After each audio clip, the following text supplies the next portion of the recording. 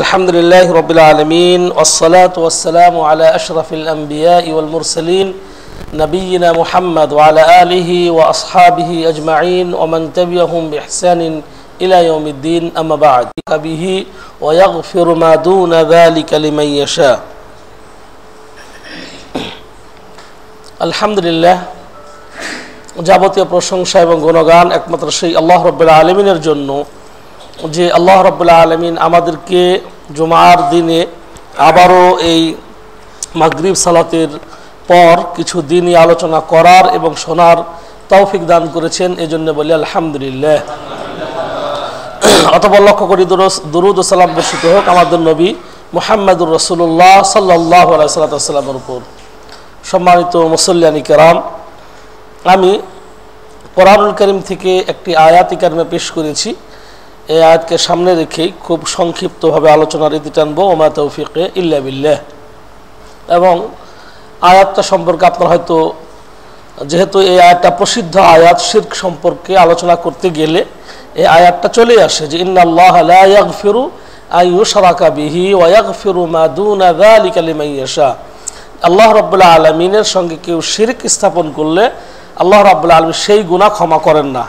এর চাইতে কম পর্যায়ের গুণা আল্লাহ ইচ্ছা করলে ক্ষমা করে দেয়।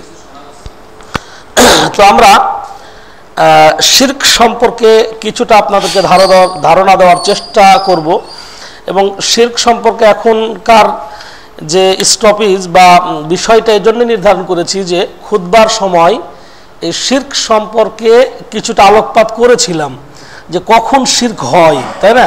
এবং সে সম্পর্কে আমরা বলেছিলাম যে যতক্ষণ পর্যন্ত দুটি বস্তু না পাওয়া যাবে, ততক্ষণ পর্যন্ত ওই পাপটিকে আমরা শির্ক হিসাবে সাব্যস্ত করতে পারব না।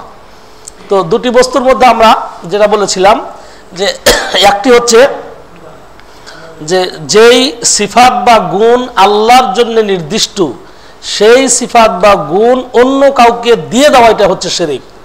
যেই গুণ বা সিফাত আল্লাহর জন্য নির্দিষ্ট, আল্লাহর জন্য নির্ধারিত, ওই গুণটা আর কাউকে দেওয়া যাবে না। ওই গুণটা কাউকে দিলেই সেটা কি হয়ে যাবে? আপনার শির্ক হয়ে যাবে। আর দ্বিতীয়টা হচ্ছে যে যেই গুণগুলো মানে যেই গুণগুলো দিলেন ওগুলো তো বোধ আবার যদি বরাবর করে দেন, যেই গুণটা হলো একক গুণ, ওটা যদি কাউকে দেন, বরাবর করেন, অথবা অন্য গুণও যদি, যেটা আল্লাহর জন্য নির্ধারিত নয়, সেটা যদি আল্লাহ সহপর্যায় করে দেন হ্যাঁ আল্লাহ সমান করে দেন, তাহলে সেটাও শির্ক হয়ে যাবে। এবং এ সম্পর্কে আমরা উদাহরণ দিয়েছিলাম, যার কারণে এটা আমরা ইনশাল্লাহ বাকি কিছুটা আলোকপাত করব। তো এই শির্কের অপোজিট হচ্ছে তাওহিদ। তো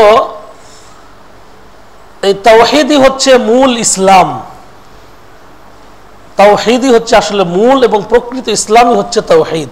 আর এর বিপরীত হচ্ছে ইসলামকে ধ্বংস করার মূলেই হচ্ছে এই শির্ক। শিরকে একবার করলে পারে তার জীবনের সমস্ত কিছু গিয়ে যায়? বাতিল হয়ে যায়।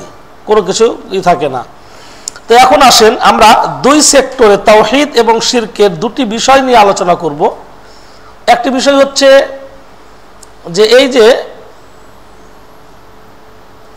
তাওহিদের আলোচনা করতে গিয়ে সর্বপ্রথম যেটা আমাদের ইসলাম গ্রহণ করার মানে আপনার ইসলাম গ্রহণ করার শর্ত, সেটা হচ্ছে কালিমাতে ইলাহা ইল্লাল্লাহ।